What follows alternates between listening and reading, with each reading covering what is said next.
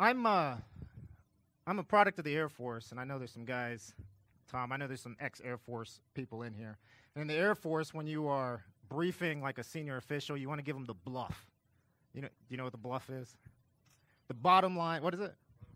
The bottom line up front, right? So they know whether they can pull chocks early, right, and go do whatever they're going to do at, because you're going to tell them what you're going to tell them, and if they don't care, they can peace out. So pull chocks. That's a. am uh, a pilot too. That's an airplane thing when you're communicating to the guys on the ground. You can't really talk to them, so you give them this signal. That means, hey, pull the chocks out of the wheel so we can get out of here. So I'll tell you what we're about to talk about, and if you guys want to pull chocks, hey, that's between you and God, all right? so there it is right there. It's really simple. And some of you guys might think it's even too simple. It's knowing God. It's a question. It's in the present and it's continuing. It's knowing God. And it's if you're knowing God, how is that affecting the way that you're going to live your life? So that, that's pretty much what we're talking about here. And this topic pretty much assumes that you're a Christian. And we're in church, so I know that's a fair assumption. But as we all know, that's probably not always an accurate assumption, right? So if what I'm talking about today seems like foolishness to you, I, I just ask you to hold on and hang tight until the end. Uh, hang tight with me. So if we know God, then our understanding of God would directly affect the way that we live our life. That's what we're talking about. Because you have a choice. You can either be an effective Christian through your knowledge of Him, or you can be an ineffective Christian, right? I used to think that there wasn't a such thing as an ineffective Christian. But uh, let, me, let me make my point here really quick. Does anybody know where this is? This is interactive today. I told you, James not here. This is, different. Does anybody know what city this is? No? Okay, this is uh, Hiroshima or Hiroshima, uh, however you pronounce it, right? With that, does anybody know what that building is right there? It's the A Dome, the A bomb building. I've been blessed. Like I say, I, uh, I'm a pilot, so I fly for the uh, Air Force here, the C-5, the big cargo planes that are annoying you guys, flying her up, you know, above your heads. And I also fly when I'm not doing that. I'm flying for Delta. But the Lord has just blessed me to do a job that I love, and I've actually had an opportunity to walk right there. I've been to Hiroshima, and I've walked right beside that building. Um, quick history lesson: August 5th, 1945. What happened in Hiroshima? There we go. Right, we dropped a big bomb. And it's crazy. I'll give you another look at that building when you get up there. It looks decrepit, it looks like it's falling apart, but I think that looks pretty darn good for having an atomic bomb drop literally 100 yards from right over top of it, right? And it's still standing there today. Like I said, I've been there, I've seen that building. And it's even more incredible when you notice that this is what the rest of Hiroshima looked like after that bomb was dropped. It was flattened, totally destroyed. So you're like, ah, I didn't come here for a history lesson, right? No, you didn't. So let's get to the uh, theological point that I'm going to make. Our first verse is uh, 1 Corinthians 3, verse 11. It's in your bulletins. You can turn to it or follow along with me, and I'll read it. It says, For no one can lay any foundation other than the one that's already been laid, which is Jesus Christ. If any man builds on this foundation using gold, silver, costly stones, wood, hay, or straw, his work will be shown for what it is because the day will bring forth to light. It'll be revealed with fire and the fire will test the quality of each man's work. If what he has built survives, he will receive his reward. If it's burned up, he will suffer loss. He himself will be saved, but only as one escaping through flames. So it's pretty easy to connect the dots with where I'm going with this, right? With our knowledge of God, every day we have everything it takes to live a godly life. And every day that we go throughout this world, we are building a spiritual building brick by brick if we're doing it with costly stones and precious materials. Or we're using hay and straw. So I don't know what it, I don't know that anybody really knows what it means like to suffer loss in eternity because the Bible says I used to think there was no such thing like I said as an ineffective Christian, but the Bible says that some will get into heaven as if escaping through the flames. And if you built your spiritual building daily using wood or whatever these other structures were using, when it hits the test of fire, it's going to get burned down, and you don't want that. I heard the joke once someone said that there was a smoking section in heaven. And obviously, they weren't talking about smoking. They're saying all the people that just got in by the skin of their teeth, right? Putting out the flames. That's what it says right here. If it's burned up, he will suffer loss. He himself will be saved, but only as one escaping through the flames. So that's what we're talking about. Being an effective Christian in this life or an ineffective Christian. So the goal is to build that spiritual building, and we want to do that. And actually, we're going to look at that today, focusing on building that through our knowledge of Him. So here's uh, 2 Peter 1 3 through 4. It says that his divine power has given us everything we need for a godly life through our knowledge of him, who called us by his own glory and goodness. Through these, he has given us every he's given us very great and precious promises so that through them you may participate in the divine nature, having escaped the corruption in the world caused by evil desires. So I'll, I'll, break that down really quick for us. Through our knowledge of him, our knowledge of God, we have everything we need. Not a few things. We have everything we need to live a godly life. And in that, in our knowledge of Him, there are great and precious promises. And standing on those promises, we can partake in the divine nature. So, without getting into you know theological debates of what that means, participate in the divine nature. Different people have said different things about it. I think we can all kind of agree based on the context of this verse, it pretty much means joining with the Holy Spirit in us as Christians and living a life that has spiritual impact on earth, participating with the divine nature. So we'll continue with uh, Second Peter, but uh, first, before we get there, I'm talking about living a godly life through the knowledge of Him, but we don't want to make the mistake of just putting knowledge in our head. And I think a lot of people do that. A lot of people, well, hey, let's read through the Bible in a year. Not that that's bad, but let's do it so we can gain knowledge. And some people use that knowledge as a sword, you know, to win arguments and that kind of thing. But that's, that's not what we're getting at. We know that knowledge puffs up, right? It produces pride. We don't want knowledge, just knowledge, solely knowledge. The goal is to know, is not to know about God. That's not the goal. The goal is to know God. So that, that's what we're talking about here. So back to 2 Peter. The very next verse after the one we just read says this For this very reason, make every effort to add to your faith goodness, goodness knowledge, knowledge self control, self control perseverance, perseverance godliness, godliness mutual affection, mutual affection love. For if you possess these qualities in increasing measure, they will, they will keep you from being ineffective and unproductive. Like we just talked about, ineffective and unproductive and it says ineffective and, or unproductive in your knowledge of the Lord Jesus Christ. So that's what we want to avoid. So here's those qualities we are talking about kind of laid out. And I don't, I don't want to be too legalistic about it. That it has to be step by step by step. You know, you might have one or the other. I, am just using it as illustrative purposes, and I think it's a, a very good way of pointing out the process of growing as Christians more and more like Jesus Christ every day. We call it sanctification, growing in Him. Because obviously it starts with faith, right? We know that we are saved by grace, which is available to everybody through faith, faith being the vehicle that we're saved. So it starts with faith. And then when the Holy Spirit comes in us, we are a new creation altogether. Faith to goodness. And we should have the outflowing of that in our lives, right? And then really early on there is knowledge. We need to gain some knowledge. We have to if we want to be an effective Christian. We can't just come here on Sundays and be spoon fed and go about our business for the rest of the week, right? We need to do something and gain that knowledge and that leading to self control, so on and so forth. And ultimately, uh, the goal is love, right? God is love. Jesus even said it. The greatest commandment is this love God with all your heart, mind, soul, and then love your neighbors as yourself. I mean, ultimately, that's, that's what we are progressing to. So, like I said, we're going to focus on that through the revealed knowledge of God. And so it begs kind of a simple question, right? How do we get to that knowledge? simple question with a really simple answer. He's revealed himself to us in pretty much two basic ways through creation and through his spirit. Through his spirit, there's a primary way that he's revealed us, revealed himself to us, and that's right here. That's the Bible. And you guys are saying, no, that's, well, you guys probably aren't saying it because this is Vista, right? You guys. Some people, scoffers, right, they might say that, uh, no, actually, the Bible is written by man. But if you look in 2 Timothy, it's not.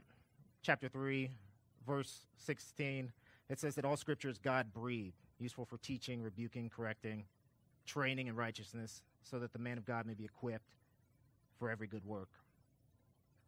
So, this is the primary way that God has revealed himself to us. But as Christians, we know that when we become Christians, the Holy Spirit comes and indwells in us, and the Lord can talk to us, right? So, he can reveal himself to us in us. But we, you know, we can't, we can rely on that, but we have to be careful, especially if we're immature or new in our faith because there's a lot of other voices trying to talk to us, and that voice can get muddled. So you always have to take it back to the primary vehicle of his revelation, which is the Bible, and make sure that what you think the Holy Spirit is saying to you is in line with what it's saying in the Bible. And the same thing with others. You know, we could have somebody up here speaking to you, but if you're just coming on Sundays and this is the only thing you're getting, hopefully you're in a good church, right? You guys are. James is awesome. You guys are in a good church. Trust me, he's very biblically based. But some people are in churches, I hate to say it, that aren't, right? And if you're not mature enough as a Christian to get into this Bible, the primary vehicle of his revelation, and check what you're hearing that other people are saying, then you can be led astray. And unfortunately, um, that happens.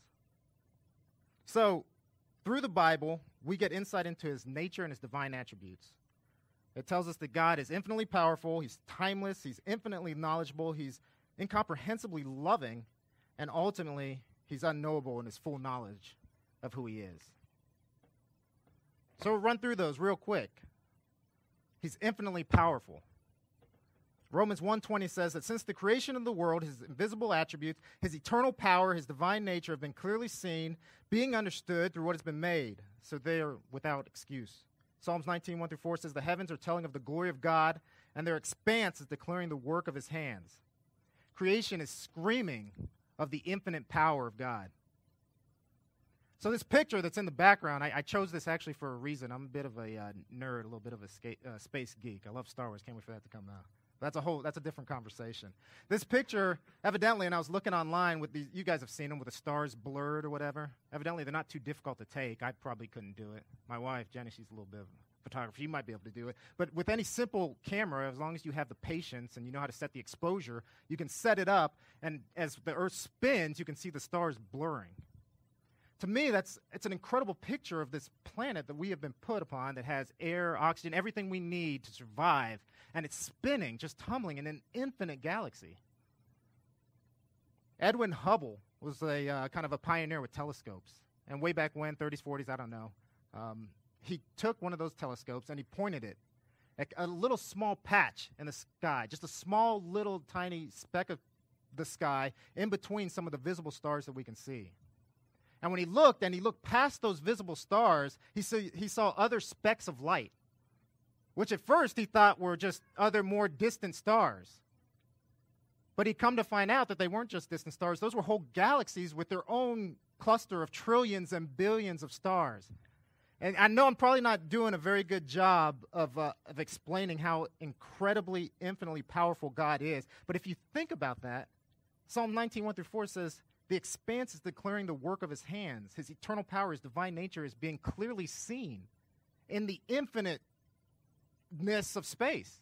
I mean, the further we look, the more there is. That's his creative power speaking to us about who he is. To me, that just blows me away. He's timeless, he's eternal. 2 Peter 3 8 says, Do not forget this one thing, dear friends. With the Lord, a day is like a thousand years, and a thousand years like a day. Psalm 94 A thousand years in your sight are like a day that has gone by, or like a watch in the night. I mean, these are simple figures of speech trying to express to us something that really we can never really fathom. We, we walk in a linear timeline. Everything has a beginning and an end. Our lives, the earth, the universe starts and finishes. But if we could really comprehend it, all of that is squeezed down to one tiny point of you guys sitting right here in time and space, and God sees us in that whole timeline in this tiny point in time and space. I don't understand that, but this is the God that exists outside of all that. To me, that's amazing. He's infinitely knowledgeable. Oh Lord, you've searched me. You know me. This is Psalm 139, 1 through 2. You know when I sit down, you know when I rise up, you understand my thoughts from afar. And then Matthew 10 29 says, Are not two sparrows sold for a penny? Yet not one of them will fall to the ground outside the Father's care. And even the hairs on your head are all numbered. And again, some people might say, Yeah, well, yeah, I could count the hairs on my head. But God doesn't only know the hairs on your head, He knows the hairs on everybody's head. And He doesn't just know the hairs on everybody's head, He knows the individual molecules and atoms that make up the hairs on everybody's head. And not only that, but he knows the individual particles that make up the molecules of everything in existence and those galaxies and stars beyond that we can even see. He knows that. But not only that, he knows every probability of every outcome, of every interaction, of every particle that makes up the entire galaxy. I mean, to me, all knowing seems too small of a word to explain the infinite God of the universe. He's incomprehensibly loving. God is holy, perfectly holy. That holiness separates us, sinners, from Him for eternity. That's just the way it is. It's black and white. We can't really bargain that away. His infinite holiness separates us because we're sinners. Every little white lie, every little maybe proud little moment you get when you take pride in what you've done and not what God's given you, even though nobody sees it, even though it's really small, that's enough to separate you from an infinitely holy God for all of eternity. But God is incomprehensibly loving. John 1, 4 through 8 says that God is love. John 8, 39, or Romans 8, 39 says that there is nothing that can separate from us from the love of God, and that love is revealed through Christ Jesus. When there was no way, when His holiness separated us from Him, He transcended space and time, came here, lived a life, 33 or so years, and died a horrific death to bring us back to Him, to bridge that gap. That, to me, is incomprehensible love. And yet, other people have died horrendous deaths, and I guess you could argue have died worth, worse deaths in history, maybe. But who has left the infinite comfort of living in perfect unity with himself? And comfort, that's such a small word. I can't even imagine what it's like to exist as such an infinite God. Who's left that to come here and suffer the indignities of this life as a human being and then die a horrendous death? I think we can't understand the infinite love that he has for us because we really can't comprehend what he left to come here and leave this, lead this life and die for our sins. And even we just ran through like 10 verses there that kind of describe which is really indescribable God, right? But even with all that, we, we still, with this whole book that we have, thousand pages or so of his, uh, his revelation to us, we still ultimately cannot know him in his fullness. Romans 11, 33 talks about the depth of the riches of the wisdom and the knowledge of God. It says that how unsearchable are his judgments, how inscrutable his ways. How unsearchable are his judgments. How could a 3.5 pound brain that we all have that's made up of neurons and synapses, how can that finite bit of material really comprehend the infinite? There's a physical limit on what we can understand. And we have to understand that and we have to accept that. Some people don't. Maybe it's pride, maybe it's desire to control our lives and our destiny. But we want to have all the answers, and, and we won't always have all the answers. So, why go through those verses? Most of you guys know all that stuff, right? You guys have heard those verses before. Because, going back to 2 Peter 1, we have to know him. In the knowledge of him, it starts there. In the knowledge of him is everything we need to live a godly life. And then we need to know how big he actually is, because I think we forget. I really do. As we go through it, I know I do. As we go through our lives, we forget how big God really is. We forget He's infinitely powerful, He's eternal, He's timeless, He's infinitely knowledgeable, incomprehensibly loving, and ultimately unknowable in its fullness. So, with that, you got to ask the question how are you guys living your lives in light of the knowledge of this infinite God of creation? This book right here is jam packed with promises. And that's what First Peter said, right? Through those promises, we're able to partake with the divine nature. Are you taking those promises? Are you reading this book? Are you, are you living that out? So I've, uh, some of you guys, I'm not trying to act like I'm more wise in some of this stuff than you. Lord knows that's not true. Some of you guys have a lot more wisdom in spiritual things than I do. And some of you guys have lived a lot more life than I have. But in my 25 years of being a Christian, the Lord has, has taught me one big thing that He keeps hammering home. And so uh, when I was asked to preach, I'm like, well, obviously, I want to talk about that thing that the Lord keeps hammering home in my head. Not because I'm just the smartest guy when it comes to it, but it's the thing that the Lord has put in front of me. If you guys know the AM stations, 1100 and 630, anybody? They're great. You know, I, I listen to them a lot of times going to and from work. It's a good way to redeem some of that time that you're just droning. And when I'm listening to those stations, there's great Bible preaching pastors on there. And, they're, and what I found out, listening to several of them, is that a lot of them have a resounding theme in their life, something that the Lord has put in them, hammered home. And that's what they talk about. And they come back to it a lot of times, you know, when I'm listening to the same things. So that's what the Lord's taught me. So that's what I'm going to talk about here. Please don't think I think I know it all. I don't. But He's taught me two things, or He taught me one thing about, uh, about Christians. And you can, agree, you can disagree with me if you want, that's totally cool. And you can say that I'm oversimplifying, because I probably am. But he's taught me there's really just basically two types of Christians in the world Christians who, when you read those verses, say, wow, we have a big God. and Christians who either forget or don't read those verses or don't know, and their God is very small. Now, God is who He is, regardless of how we view Him, right? But it's our view of God. Either there's either you think He's big and you view Him and all of that, His majesty and all of that incredible stuff that I can't even come up with really good words to describe it, or you don't. Or He's relegated to some pages in a book that's sitting dusty on your shelf where you come and you sit on Sundays or maybe in your Bible studies, but then you go about your life the rest of the week and you kind of forget about it. It's one or the other, right? And I don't want to oversimplify too much because it's not really a binary scale. It's not ones and zeros, right? Sorry, I just saw some friends of mine seen in a while. Hey. It's not a binary scale, right? It's not on and off, yes or no. We're not either a big God Christian or a small God Christian. Predominantly, we're one or the other, but a lot of times it's kind of a continuum, right? You know, we're a big God Christian, we realize how big He is, and then boom, life hits us in the jaw, right? And we kind of stagger back and we forget. And we kind of wallow in our problems and we forget how big He is, right? So the question you got to ask yourself is what trajectory are you on? Are you a big God Christian? If you are, great. Keep going. Keep reading, keep learning. Because through our knowledge of Him, we've been given everything we need to live a godly life. So we've got to keep building on that knowledge. If you're not, you need to take an inventory of your life and see if what you believe is really what you believe. And then you need to start focusing and working your way to becoming a big God Christian. So there's several characteristics that I've noticed about Christians that have a big God or a big view of God.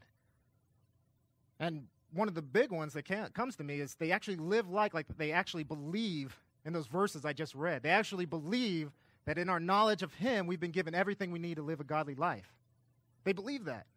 They believe that every day that you go through life, you're building a spiritual building, either brick by brick with costly stones and precious metals and good stuff that'll, that'll keep your building standing if the A bomb hits it, or you're using wood and hay and straw. They believe that, and they live that out. They realize they'll never have all the answers. They realize that God is ultimately incomprehensible. We'll never know exactly why things are happening, good or bad, and they're cool with that. They're okay with that. They don't want so much control over their lives that they have to have all the answers. And when they don't, there's got to be a reason and they can figure it out. That's not the way big God Christians live their life. In short, they have an eternal focus. Their eyes are up as they're walking through life every day, they're looking up. They're looking past what can be seen, past what can be seen physically with their eyes.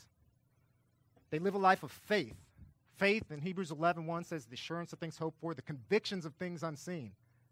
Big God Christians are convinced of what they can't see. They walk by faith and not by sight because they have to. They have to. So, again, my opinion. James asked me to preach, so I got to throw a couple of opinions out, right? In my opinion, there are two verses I think that kind of encapsulate what a big God Christian is and should know. And I think there's two verses that we should, if we want to be big God Christians, either commit to memory or at least be familiar with and understand.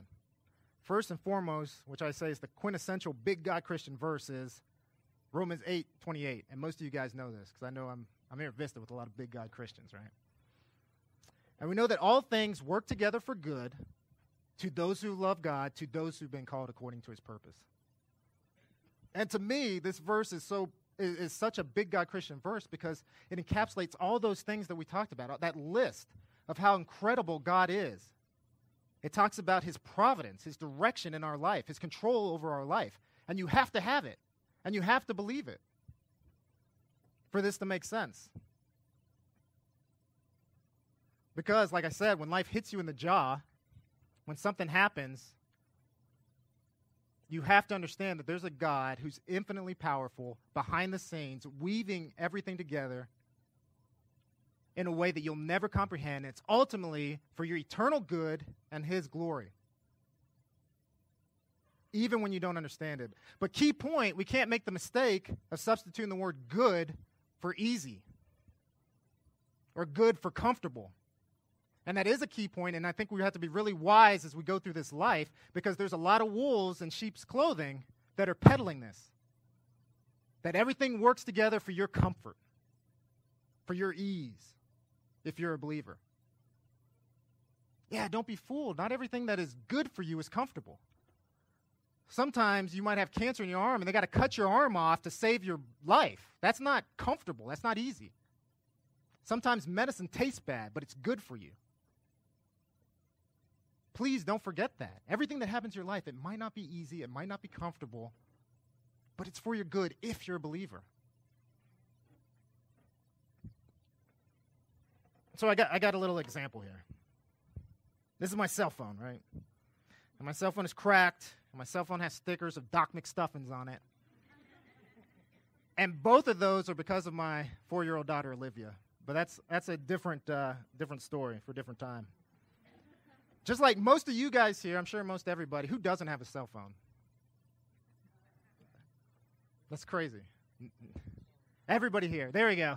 Who, who here who over the age of 18 doesn't have a cell phone? Nobody, right?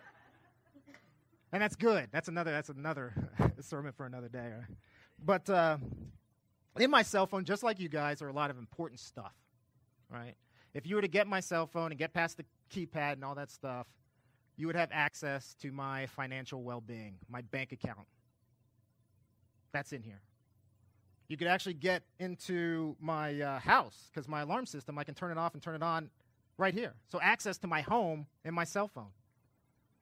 I have pictures in here of my wife and my daughters and videos that I haven't uploaded anywhere else that if I were to lose this, those would be gone forever. You know, that's, that's important to me. Probably one of the more important things is my livelihood. Like I was telling you guys, I'm a pilot. I fly for Delta. I carry this cell phone around, and when I'm in Atlanta, I'm on a two hour call out. And if this doesn't work or this is lost and they call me, I'm on probation still. It's not an exaggeration. I'll get fired. So there's some importance in this. Ultimately, it's, it's, just a, you know, I can replace it. It's not the most important thing in the world, but it's important. So to my story, I don't know, a month ago or whatever, and uh, I was telling Jenny this, and I guess she was there because she came and flew with flew with me. The girls came. We flew to Nashville. It was great on the airplane or whatever. But about a month ago, I was uh, getting in Atlanta airport's kind of, kind of, if you don't understand, it's kind of confusing. There's trains that run between the different concourses, and then you come up, and then there's the gates and everything. And so we were coming up off of one of the trains, and for whatever reason, instead of taking the escalator, we took the elevator. And right before we got in, this lady ran in. And on her look was panic and fear you could see it in her eyes. This, she was scared. She was almost crying and everything. And maybe because she was so panicked, or maybe because she needed information, she turns to us and she's like, oh, and tells us, "Hey, I, I, lost, I lost my cell phone. I left it uh, at gate A, such and such, on the airplane." And so in her panic, she's like, "I got to get back to the airplane. I got to go get my cell phone," which is understandable, you know. And this is just an example. I don't know this lady's heart. I don't know where she is or anything, so don't read too much into it. But just just roll with the example. But it wasn't.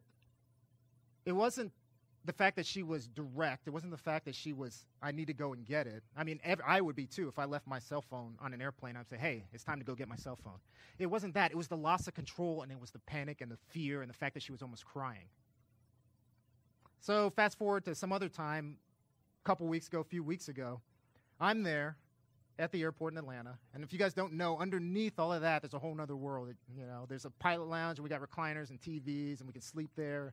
And there's a uh, at A27. If you ever go there and you see any pilot types running around a wall on A27, there's a gym downstairs, right?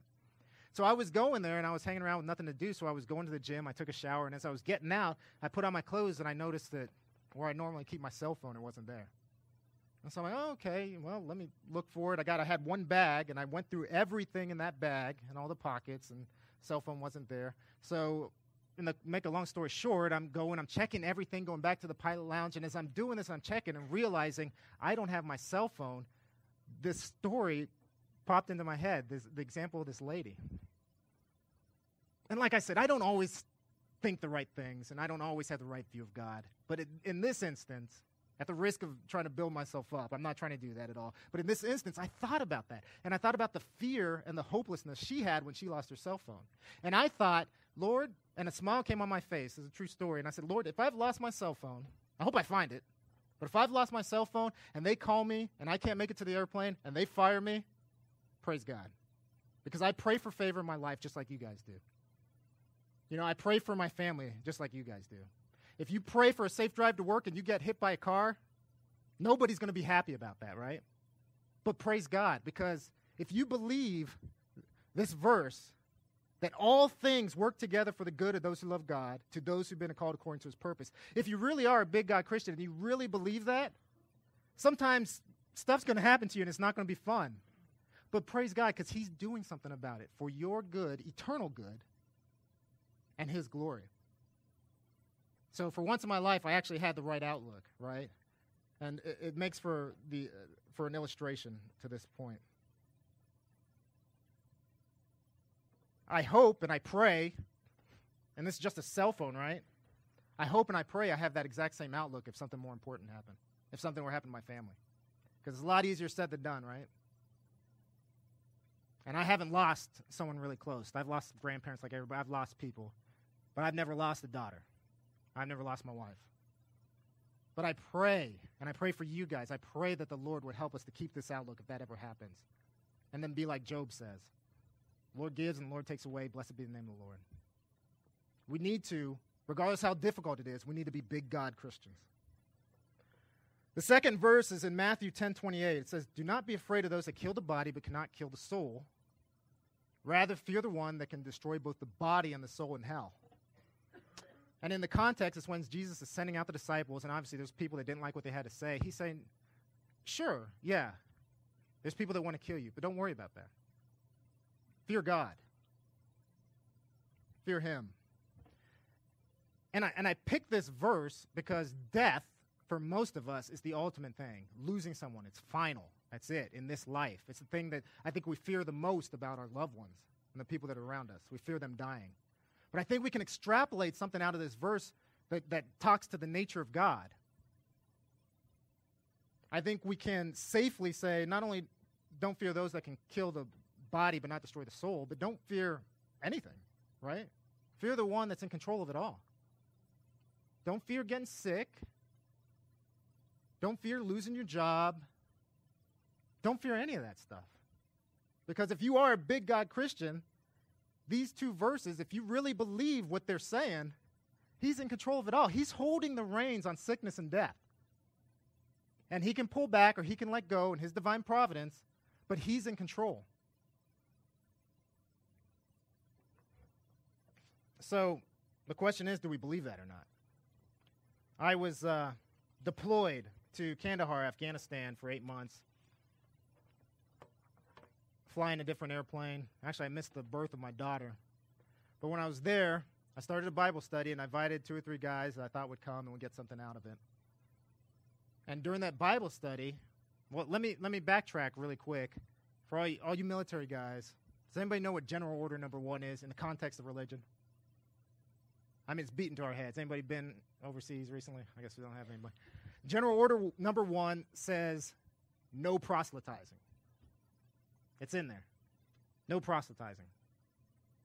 And so I'm not acting like I'm, you know, super Christian. I had a Bible study when General Order, in the face of General Order number one that said no proselytizing. No, it's kind of understood that if people agree to it, that it's it's okay. But down the road from where our base was, or where our compound was in Kandahar, uh, Air Base, down the road on the flight line was a squadron of Afghani helicopter pilots. And you interacted, we had different chows and stuff, but you would pass them, you would interact with them. So fast forward again to the Bible study. I'm there with uh, those three guys who uh, they said they're Christians, and we don't judge cri- people's eternal destiny. We leave that up to the Lord. There's things we can judge, but if someone says they're a Christian, we can judge their fruits. But they said they're Christians. So these three guys, Christians, in this Bible study, and I kind of just threw this kind of big God question at them. I said, hey, I'm not saying the Lord would come down and show himself to you, but if in your heart he, you knew the Lord was telling you to go and share the message with that Afghani over there in the face of General Order number one, would you do it? And I kind of expected the way I would feel like, mm, you know, that's scary. I could, you know, get thrown in prison, you know, literally get thrown in prison for doing that. I could hurt our international relationships with them because they don't like that whole Christian thing too much over there, right? And I, would be scared, but hopefully, like I'm, i was praying earlier, I pray that if you did tell me, and I knew you were telling me to go s- spread the gospel and share it with that Afghani, that I would do it. And that's what I expected to hear from three Christians in a Bible study. It might be difficult. Maybe I don't have the strength. Maybe I'd get too scared, but I'd like to think I would do it. But it blew my mind. That's not what I heard. First of all, I didn't hear anything. I was just looking at them, and the looks on their face told me, like, whoa, they're, they're not buying this. And I talked to him about it, and one of them, I talked to him a little more, and he's like, nah, that's not, you know, the hum and the ha. No, he wouldn't ask you to do that, da da da da da. And I was like, wow.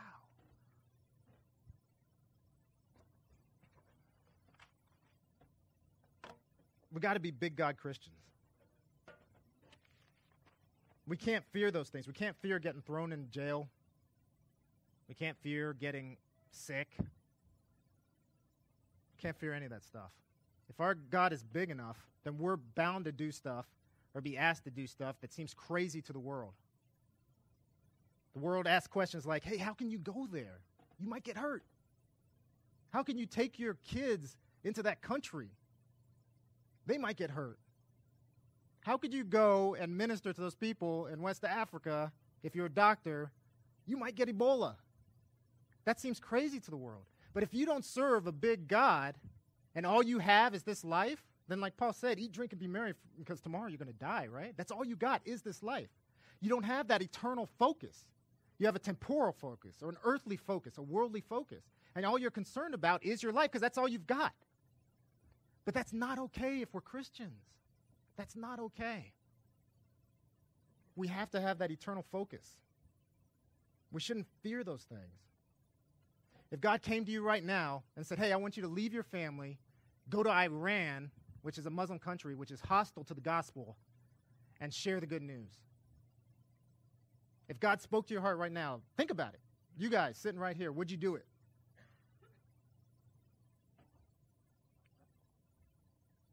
This guy did that.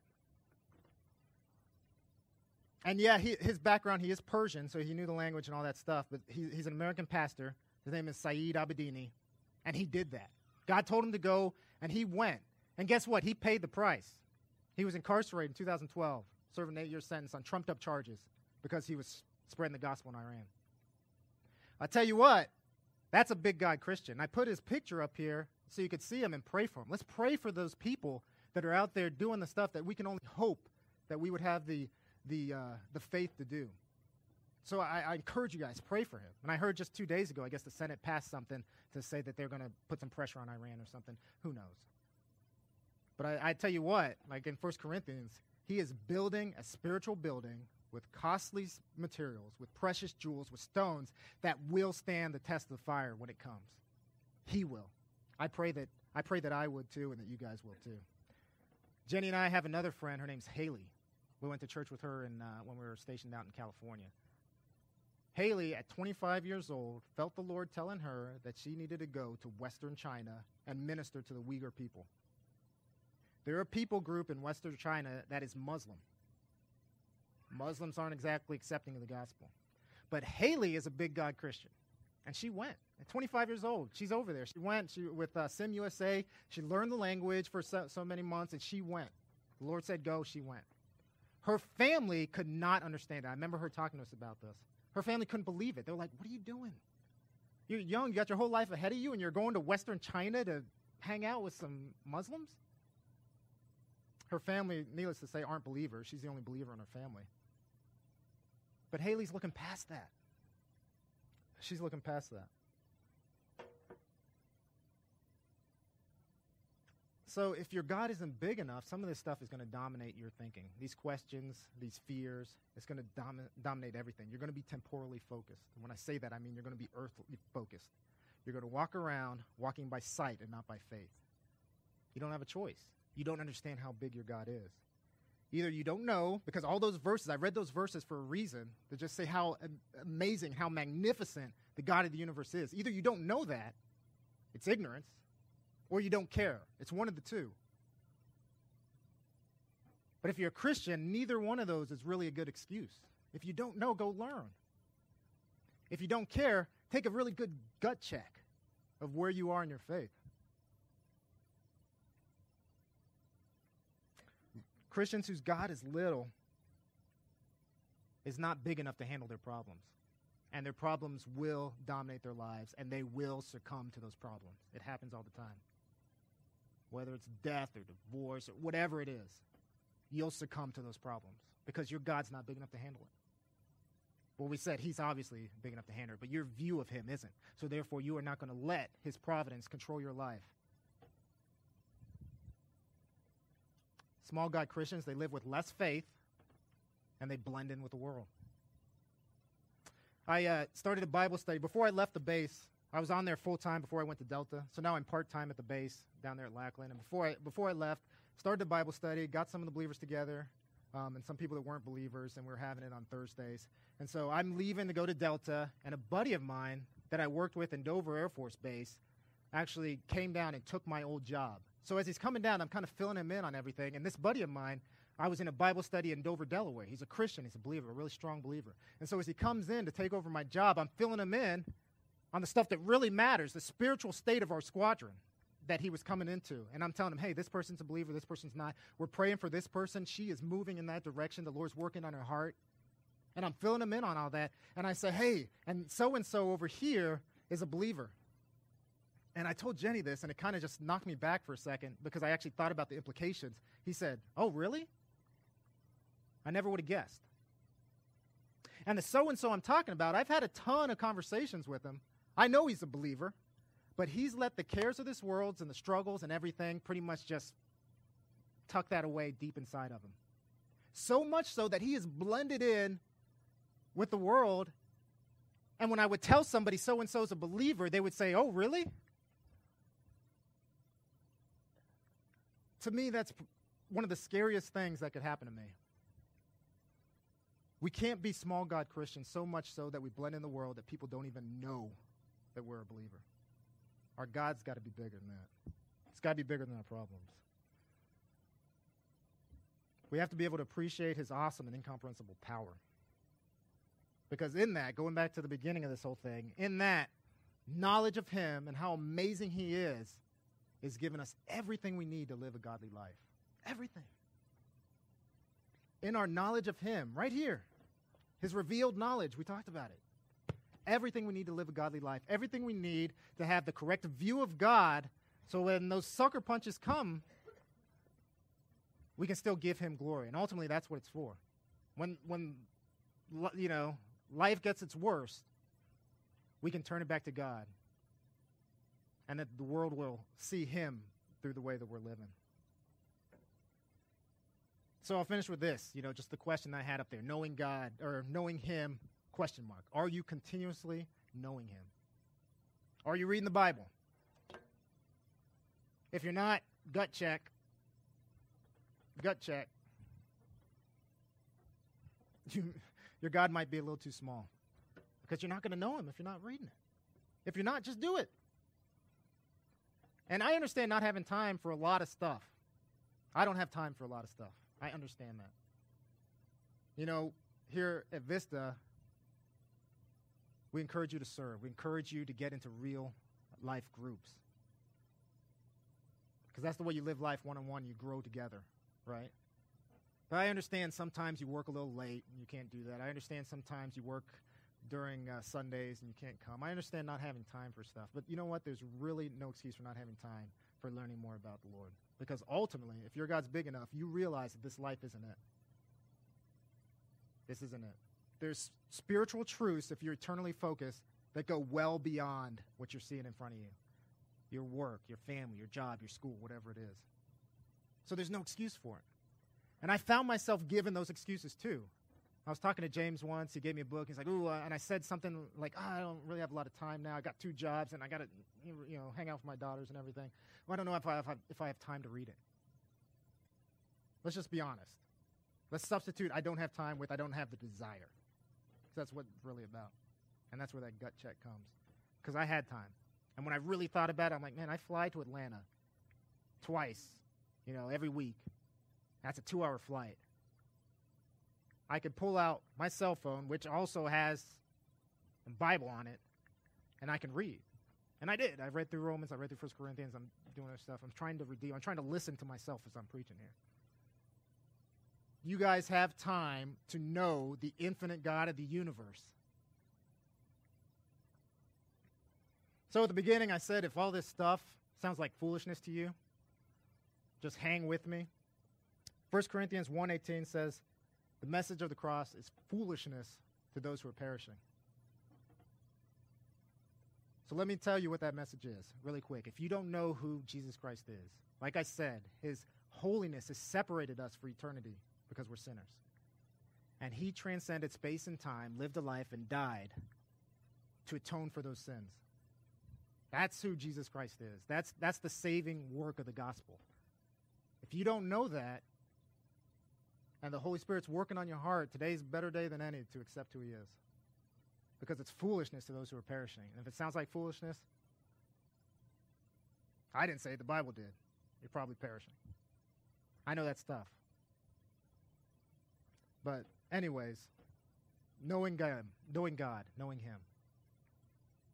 So if you bow with me, we'll close in uh, prayer.